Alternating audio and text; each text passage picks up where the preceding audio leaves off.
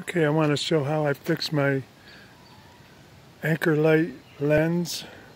I have an old style um, anchor light and they changed the thread for the lens.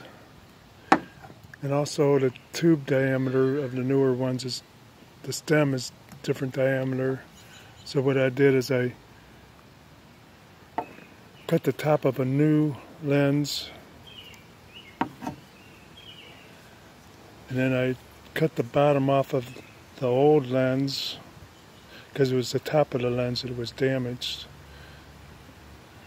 And then I got a piece of PVC from Home Depot used it as a sleeve and glued it glued it all together. I believe I used some type of epoxy. I, I did this last year.